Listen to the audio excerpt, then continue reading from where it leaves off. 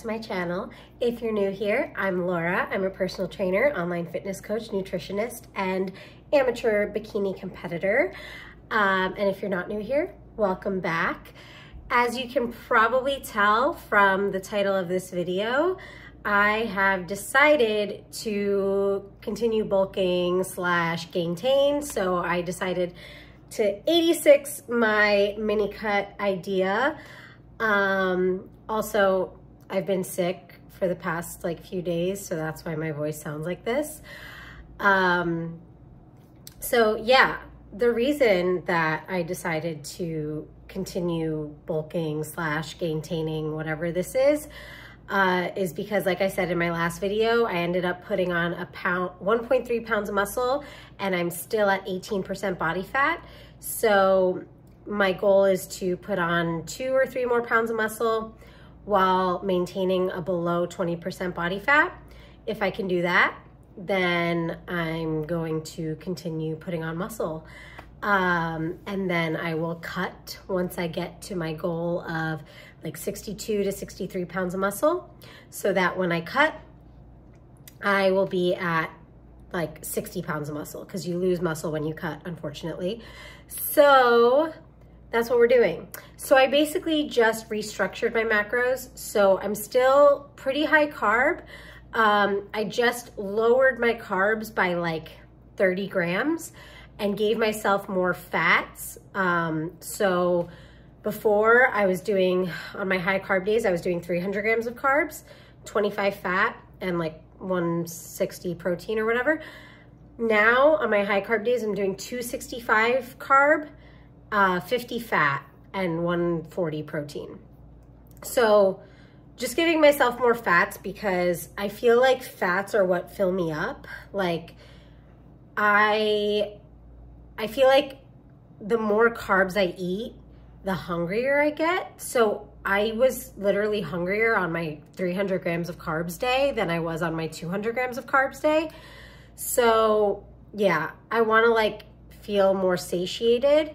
Um, and honestly, I feel like, I don't know. I don't know if there's a difference between like 30 grams of carbs in terms of like how heavy I can lift. Maybe there is, we'll see. Maybe I messed myself up and I'm not to put on any muscle this month, but that's just a decision I decided to make. Um, so yeah, and obviously disclaimer, don't follow my macros. They're for me, not for you. Um, so yeah, I did a check-in with myself um, on Wednesday. I'll put pictures here. Um, I weighed in at 130.6, I believe, or 130.4, something like that. Um, which is pretty crazy because even though I feel fat every day, um, I like looking at pictures, I am like leaner at this weight than I've ever been. So like the last time I was 130 pounds, I didn't have this much muscle. So I looked fatter, even though that's not how I feel every day, but it's okay. It's something I'm working with. Um, yeah, cardio is at five times a week, 30 minutes. Um, and just kind of steady state. Um, what else? Oh, well, I kind of started a new diet, sort of. Um, so I was having digestive issues, obviously, as you guys know. If you've been on this channel for long enough, you know that I have IBS. And I was like, nothing is working. I am just feeling bloated and gassy all the time. So I decided to do some research on the low FODMAP diet, um, which I am not going to be able to explain to you guys what exactly it is, but basically it's a diet that people go on when they're having IBS related issues. Um, it's not supposed to be a long-term diet. It is uh, meant to be like kind of like three-ish months, I think. Um, so in the first phase, you just eliminate like foods that have high FODMAPs, which FODMAPs is like fermented oligo di don't. I'm going to just put it down here so that you guys can read it because I don't remember. Um, but uh, it's basically foods that are known to kind of not digest well. So unfortunately, a lot of them are high in fiber, which I eat a very high fiber diet because I eat mostly plant-based. So um, foods like broccoli and cauliflower, beans, um, what else? Garlic, onion, um, a lot of fruits, apples, I think bananas. So I've tried to eliminate all of those. Um, this past week, I've been doing it like slowly. I didn't do it like cold turkey um, just because I don't know. It's, it was just hard. I had like a lot of stuff that was going to go bad in the fridge that I had to kind of eat. Um, so yeah, but I have been feeling better actually. Um, so yeah, I'm going to keep doing this for the next few weeks. And then uh, I'll start the like reintroduction phase where I'll like reintroduce broccoli and then like see how I feel and then reintroduce cauliflower and like kind of just like go slowly based on that. Um, so yeah, I will probably do a what I eat in a day on a low FODMAP diet for you guys. But first, exciting news. I got a package from Fanka. It's a uh, athletic sportswear company. Um, I got some leggings, so I'm gonna try them on, see how they feel, see how they look, even though she a little thick right now. Um, and then we're gonna catch a workout in these and see if they pass the leg day leggings test. Wait, oh my God. I just opened and like how cute. They come in like a little like reusable bag. What? Like when, since when do leggings come in a reusable bag? That is so cute. Like I could use this bag like for my gym equipment in it. Okay. Oh my God.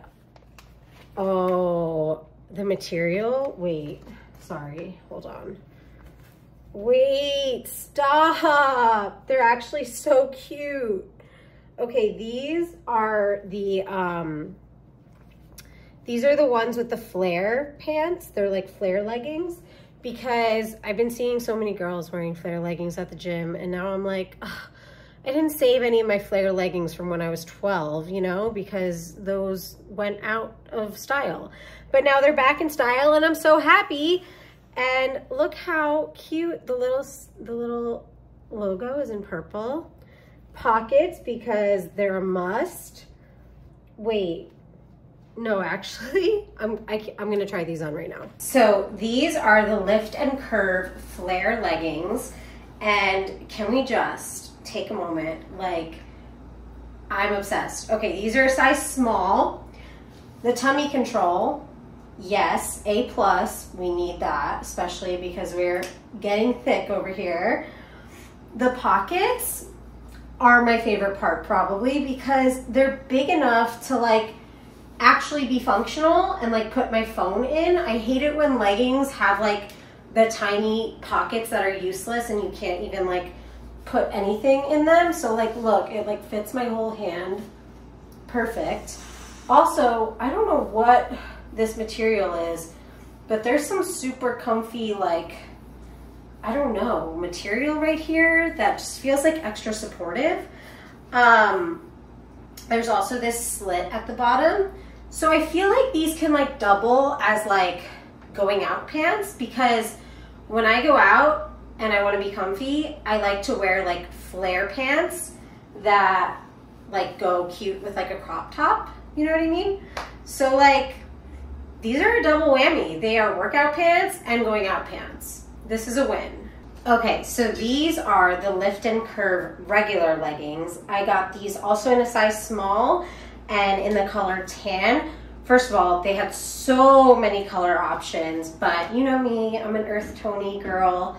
So again, the tummy control is like a thousand. Um, we got this nice pattern, which I actually love, I'm not one to buy leggings that have like patterns on them, but I think this is so like subtle and like elegant and sleek. And I just love them. Um, so we are gonna be doing a leg day in these pants and we are gonna see how they stack up, how uh, comfy and functional they are. Okay, y'all, these Fanka leggings are my new jam. So I'm like honestly really impressed with the quality. Um, so if you guys want to score yourself a pair, go use my code LBD12. I will link uh, Fanka's website uh, with my discount code down below in the comments and let me know if you end up ordering from them uh, and if you like them, what you think, what colors you get. Um, I'm honestly, next time I'm gonna be more, uh, what's the word? Like exploratory with the colors. I'm gonna, I'm gonna branch out of my comfort zone. I'm gonna get like a wild blue or like lime green because when I see them on girls in the gym, I'm like, oh, that's so cute. But like, I always just get like brown, which I love, but next time, definitely getting like a really spicy blue or something. Um, so yeah, use my code LBD12. Everything is linked down below. And thank you so much if you use my code. Hello, YouTube. I am about to go do my leg day tonight um, to show you guys, but I just got back from lunch with a friend and uh, we're also like planning on like some content that we're gonna do together because she's also a personal trainer. Um, so stay tuned for that. But just have to be like 100% transparent. I messed up. Um,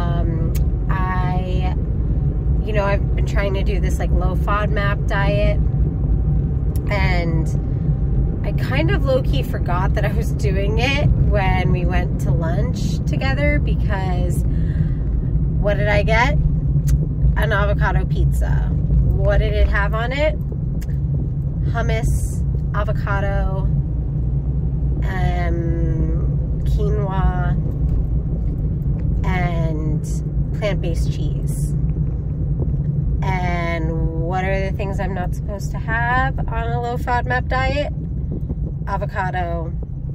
I think quinoa is okay. Plant-based cheese, definitely not.